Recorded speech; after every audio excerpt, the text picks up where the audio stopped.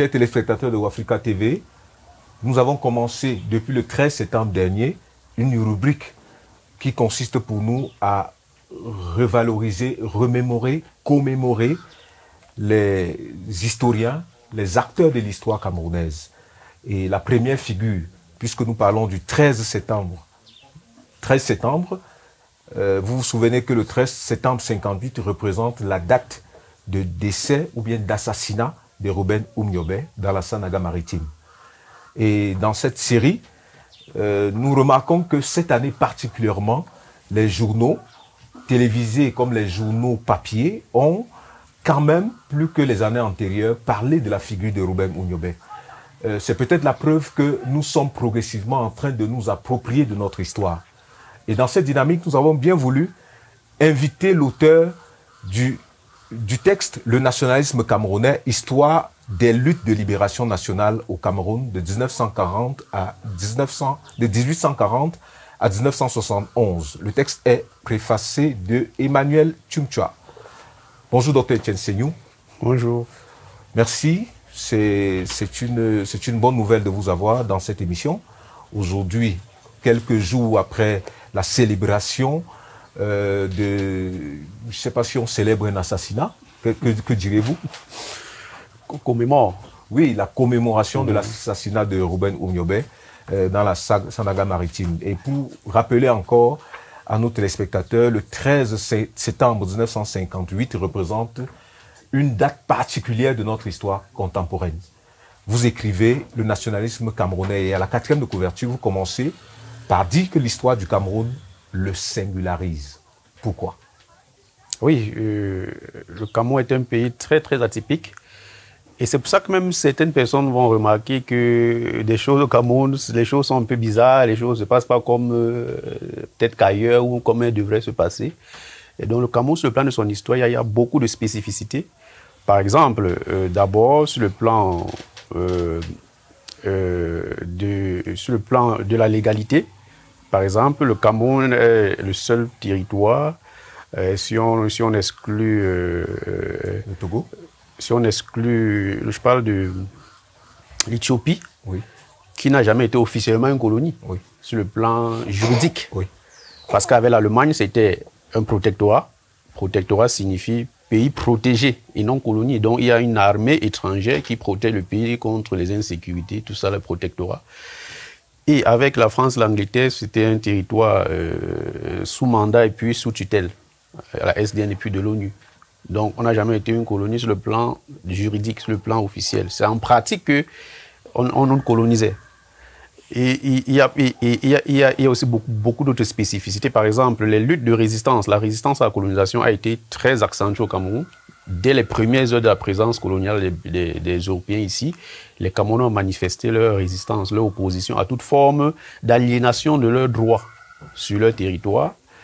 Et ça a évolué de 1840, comme je cite ici, jusqu'à 1971. Toute cette longue période-là, de plus de 130 ans, on observe une résistance. Il n'y a pas un moment où on passe 5 ans sans voir une activité de résistance dans l'histoire du Cameroun euh, sur cette longue période-là. Donc il y a cette spécificité. Et surtout, ce qui fait la spécificité véritable du Cameroun, c'est la façon dont on a été décolonisé. Ça a été très exceptionnel.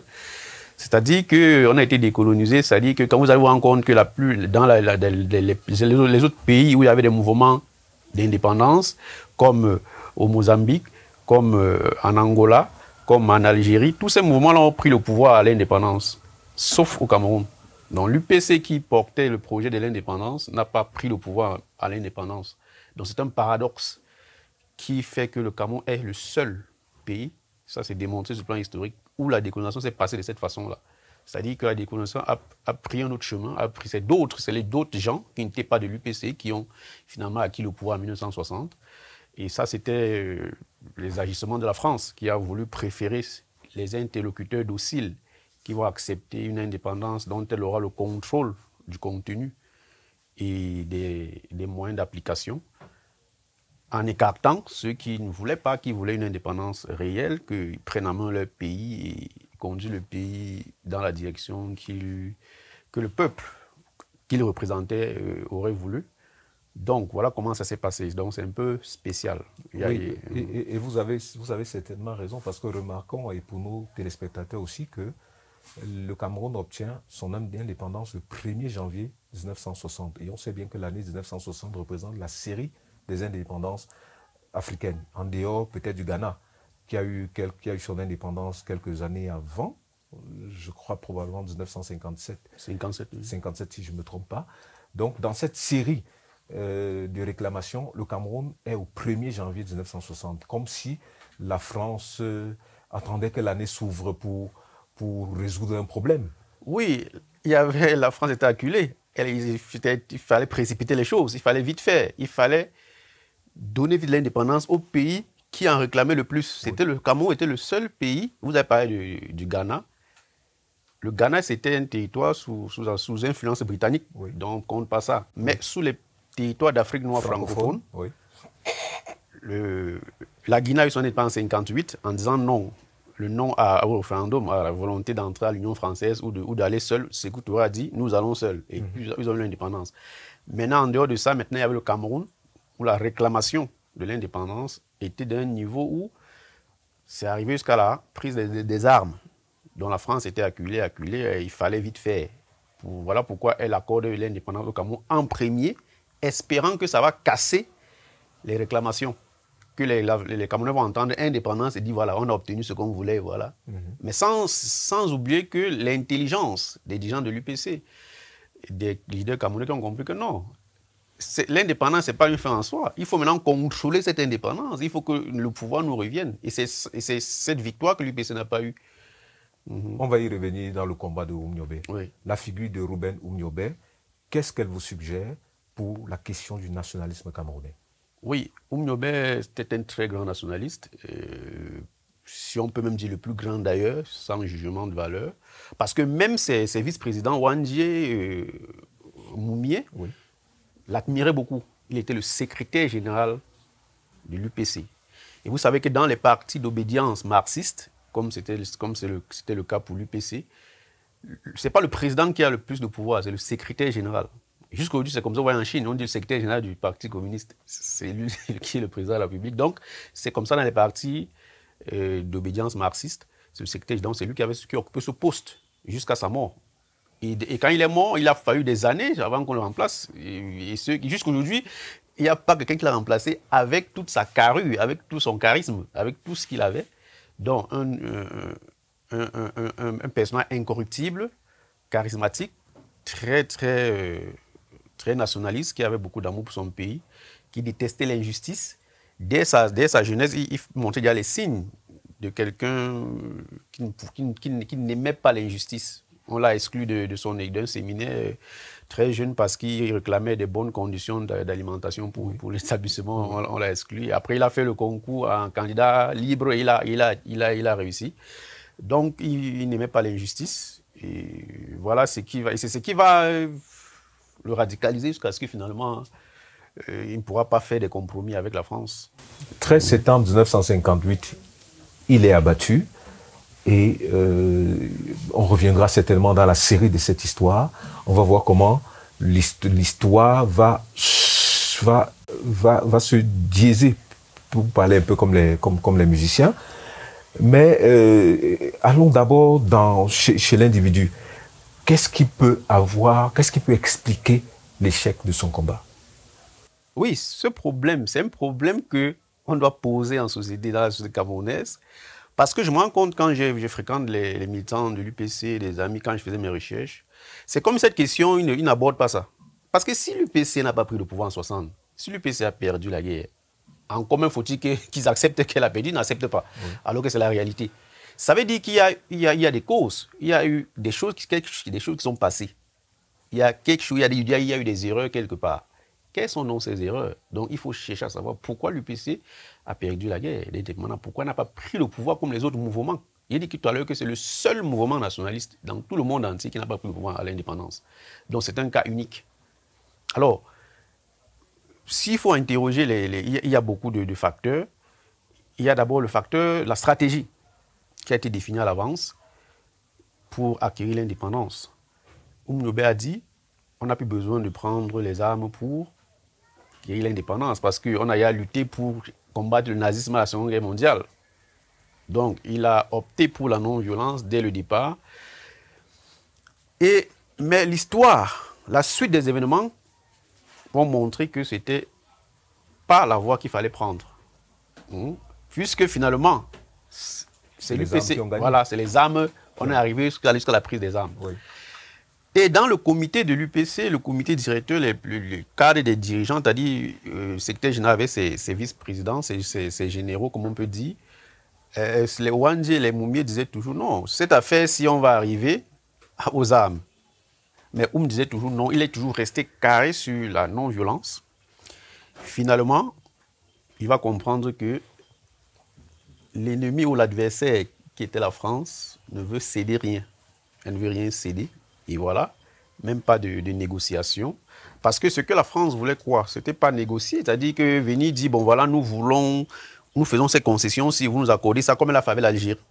La France voulait simplement extirper Oumnobel, le mettre dans le gouvernement, essayer de le retourner, et puis qu'il marche comme la France veut dans le... Est-ce qu'on peut trouver un autre, échec, un autre échec dans la démarche du PCC J'aime pas encore finir l'échec stratégique. Donc, il a dit la non-violence. Donc finalement, il va se rendre compte que ce n'est que par les armes. Et ça, c'est en 56.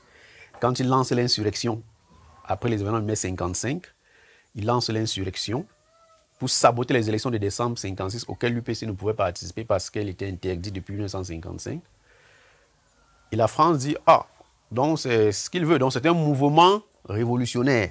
Donc ils ne veulent pas accepter le système d'indépendance que nous voulons leur accorder, la France va donc dire moyen militaire. Il faut résoudre le problème par la voie militaire. C'est Mesmer qui va qui sera euh, de l'époque, il est un militaire. Il faut, pas, c'est pas l'amusant. Quand on met un militaire quelque part, c'est pour dire que c'est, c'est la voie militaire, qui c'est pas la voie militaire que certains points vont être résolus. Donc, voilà comment la guerre entre, entre la France et l'UPC. Est-ce que vous pensez qu'ils auraient dû négocier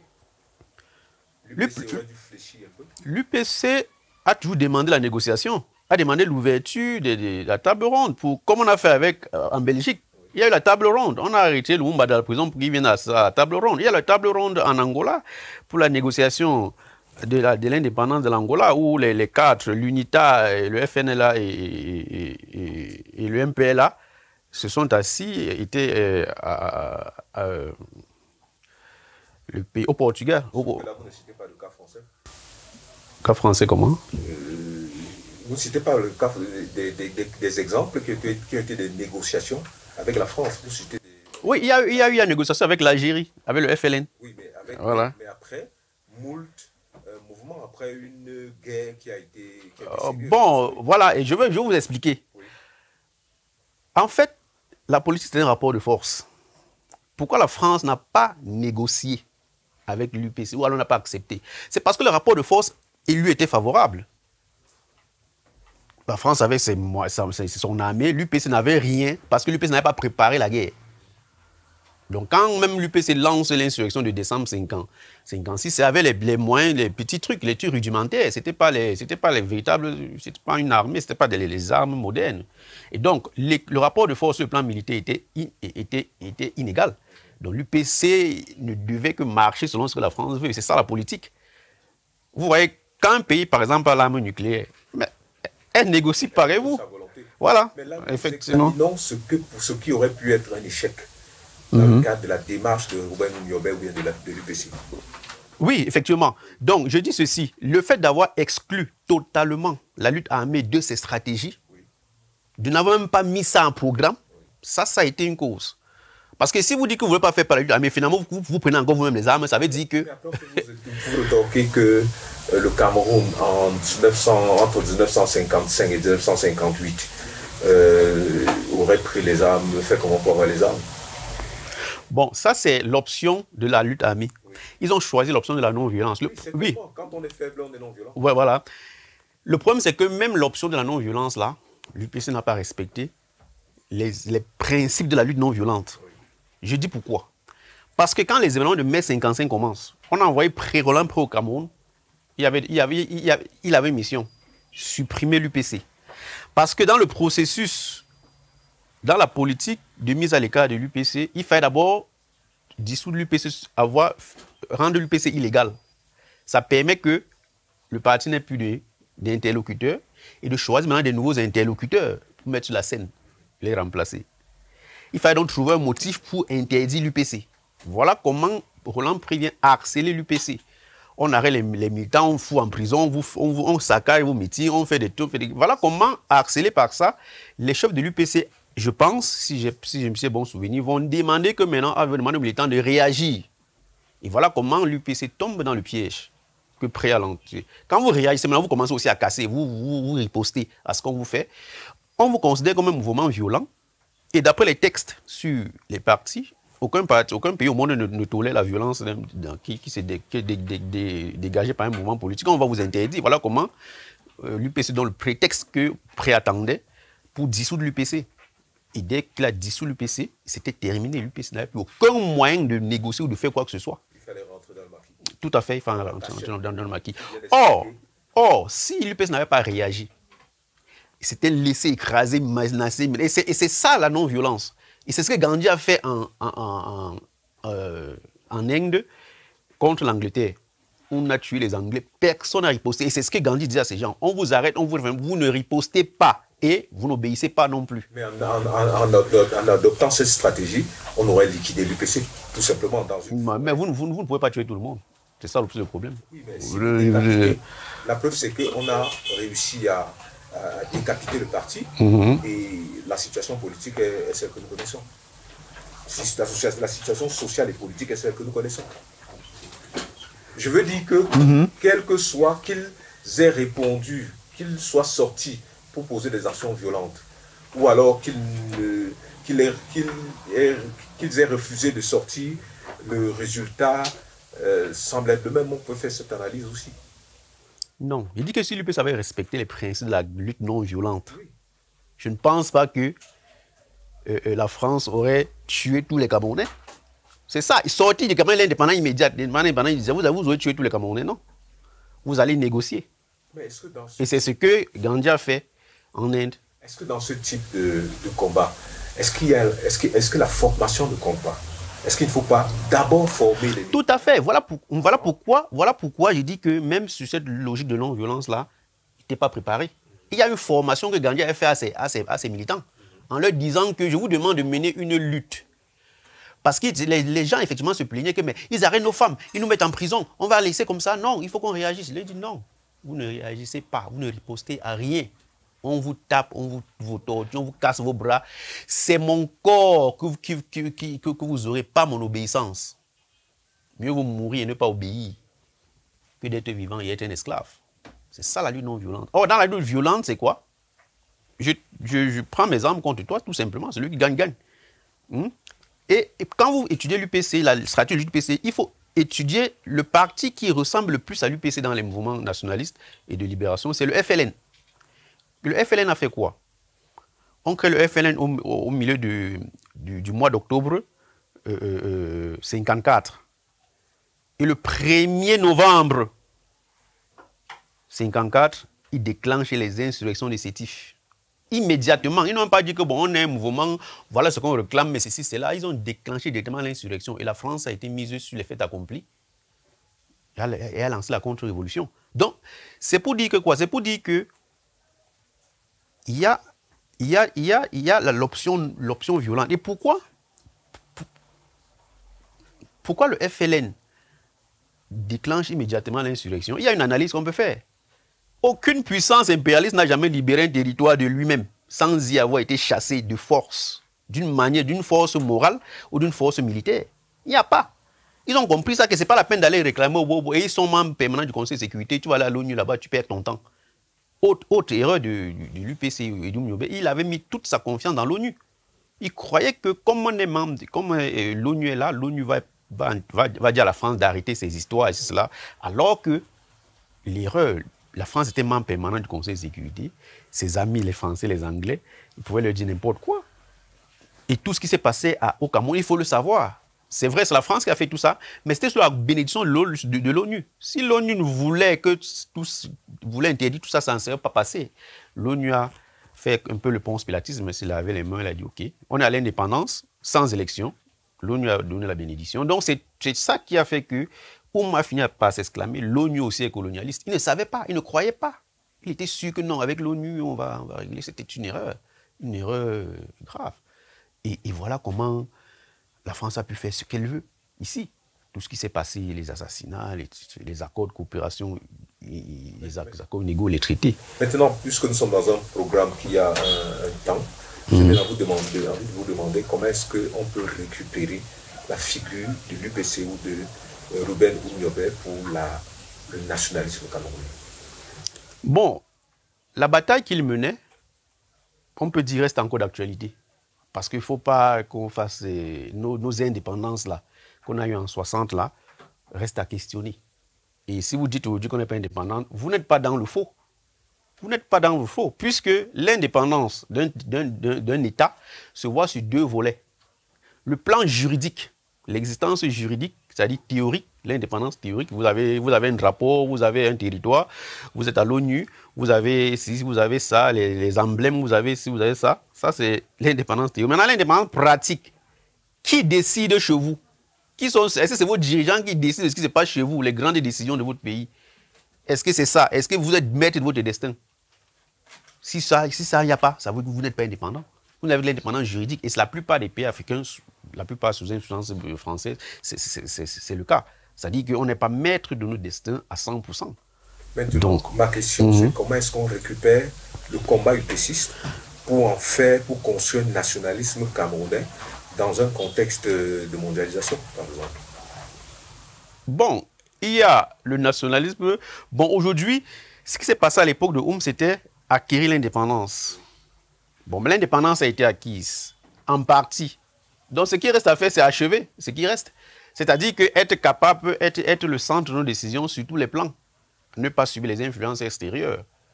Être capable de choisir nous-mêmes nos alliés. Revoir les accords qui ont été signés dans les années 60, dont, beaucoup s'étalent parfois sur 100 ans. Donc, il y a, ça, il y a, beaucoup. Et c'est ce, que, ce que nos gouvernants ont, essayé de faire. Le premier président du Cameroun, Amadou a essayé de faire ça à sa manière, mais il n'a pas pu. L'actuel président essaie aussi un peu à sa façon de faire. Ben, on attend les résultats. Donc, c'est ça. Donc, il faut. Ici, il y a, il y a, il y a la bataille là qu'ils avaient initiée qui n'est pas achevée. Ils ont, ils ont eu une victoire partielle. Et le reste, il, faut, il, faut, il faudrait. C'est maintenant ça le, le néo-nationalisme qu'on peut dire, c'est-à-dire le nationalisme qui va faire en sorte que le territoire soit le centre de ses décisions sans subir les influences extérieures. Dans l'une mmh. de vos réflexions, vous parlez du nationalisme dans les manuels scolaires. Oui. Euh, Est-ce que l'école pourrait être le creuset de cette construction nationaliste? Évidemment, évidemment. C'est même là que tout commence. La, est-ce que ça vous fait de savoir que euh, une figure comme Ruben Oumiobe n'est pas enseignée dans une, dans une classe, dans des classes régulières? Ça, ça, ne m'étonne pas en fait. Parce qu'il faut comprendre que Oum a été vaincu et ce sont ces vainqueurs qui ont pris le pouvoir. Donc c'est normal qu'il soit traité comme il est traité avec l'ensemble des autres. Et l'histoire est ainsi faite. C'est les plus forts, c'est les vainqueurs qui écrivent l'histoire. C'est eux qui définissent les contenus de ce qui s'est passé. C'est pas seulement ici. Dans tous les pays, c'est comme ça. Et vous allez voir, par exemple, en France, qu'on valorise plus De Gaulle que Pétain, qui était son rival. Parce que Pétain a collaboré avec les Allemands. Alors que De Gaulle a dit non, on n'a pas perdu la guerre, et il a aidé les Français, il a libéré la France du nazisme. Alors que Pétain a collaboré avec l'ennemi. Ils n'ont pas le même traitement sur le plan de la mémoire. Alors que De Gaulle est partout dans la mémoire collective, il est partout, mais Pétain, c'est pas la même chose. Donc, si Ouma ce traitement et les autres, c'est, je peux dire un peu normal. Normal. Maintenant, c'est à ceux qui sont au pouvoir de comprendre que, bon, ils l'ont vaincu, mais qui reconnaissent au moins sa place. C'est vrai qu'il y a ce qui a été fait à travers la loi sur le, les héros nationaux, c'est dire quelque chose, mais il faut que ça, sorte des textes pour rentrer dans, la, les faits. C'est-à-dire qu'il y, a des, noms de rues, il y a des édifices, des monuments. Il y a déjà des monuments. Et récemment, a été inauguré un monument euh, dans la zone euh, de Moumniébé là-bas, de la zone de la Sanaga maritime, à la mémoire de Moumniébé, avec euh, la présence du, de l'ambassadeur de France. C'est il y a quelque chose. Mais Oum n'est pas seulement la, la, la, la personnalité de n'est pas seulement à, renfermer au niveau de la Sénégal maritime. C'est vrai que c'est sa, région d'origine. Mais il a lutté pour tout le Cameroun, voire l'Afrique. Donc, si on pouvait aussi avoir ces, monuments un peu partout dans les autres villes, ça, ça serait bien, petit à petit et progressivement. Parce que si eux, ils sont au pouvoir, il faut reconnaître que c'est quand même grâce à leur lutte. Parce que s'ils n'avaient pas, pas levé pour réclamer, et c'est que peut-être qu'aujourd'hui, on soit encore sur le système colonial. Le président de la République française parle d'une possibilité d'ouvrir les archives, de créer une commission d'historiens, une commission pluridisciplinaire pour euh, regarder euh, de manière plus précise la question. Comment est-ce que vous avez apprécié cela? Oui, c'est déjà un pas. Parce que si euh, ses prédécesseurs, d'abord le Premier ministre François Fillon était venu dire que, voilà, nier qu'il n'y a jamais eu rien au Cameroun en ce qui concerne les interventions militaires. Euh, vous voyez que si aujourd'hui vient dire, après lui, euh, François Hollande est venu dire que oui, il y a eu des événements, des, traumatismes au Cameroun, des événements tragiques. Voilà, on verra comment ouvrir les archives pour savoir ce qui s'est passé. Maintenant, c'est un peu cohérent. Maintenant, le président français, actuel, Emmanuel Macron, maintenant dit que, OK, oh, je veux savoir ce qui s'est passé. Ouvrez-moi les archives tout, tout, on va décliner les responsabilités. Qu'est-ce que vous y attendez? Bon, maintenant, c'est aux acteurs impliqués dans le phénomène de... Parce que eux, c'est les hommes politiques. Parfois, ils lancent, ils lancent des slogans. Parfois, c'est des trucs creux. Si ce n'est pas suivi, s'ils ne sont pas... Si ce n'est pas suivi par les gens de la société civile de dire, bon voilà, vous avez dit ça, vous avez, on en est, on en est, ouais, suivi. Pas seulement eux, mais les historiens. voilà, ça, ça peut rester comme ça, là où c'est là. Euh, parce que lui, il a intérêt à, faire, le dilatoire. Il, peut dire, bon, voilà, et ça lui permet de gagner un peu de temps. Mais il ne faut pas, il faut pas rejeter l'idée. Ce qu'il fait, c'est qu'il y a un pas. Et on peut comprendre que. Parce que dans le processus de reconnaissance sur la politique mémorielle, ça, ça, se fait en plusieurs étapes. D'abord l'étape de la négation. On nie, la puissance coloniale nie ce qu'elle a fait. Après, la pression, elle finit par reconnaître. Après encore la pression, elle demande pardon. Après encore de pression, les réparations. C'est toutes des étapes. La Belgique dernièrement a reconnu pour le Mumba. Voilà. Maintenant, on attend le pardon et puis la réparation. C'est des trucs progressifs qui font que les gens doivent. C'est pas parce qu'il a dit ça qu'on va dormir sur nos Non, non. Si les gens restent là, on, ne va pas vers, la France, ou bien les gens ne se mettent pas en activité pour dire voilà, il a dit ça, il a dit ça, c'est bien.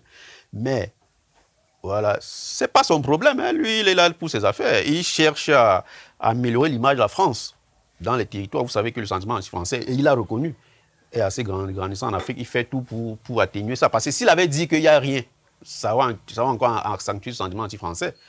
Donc, il est un homme politique, il faut le prendre dans sa posture.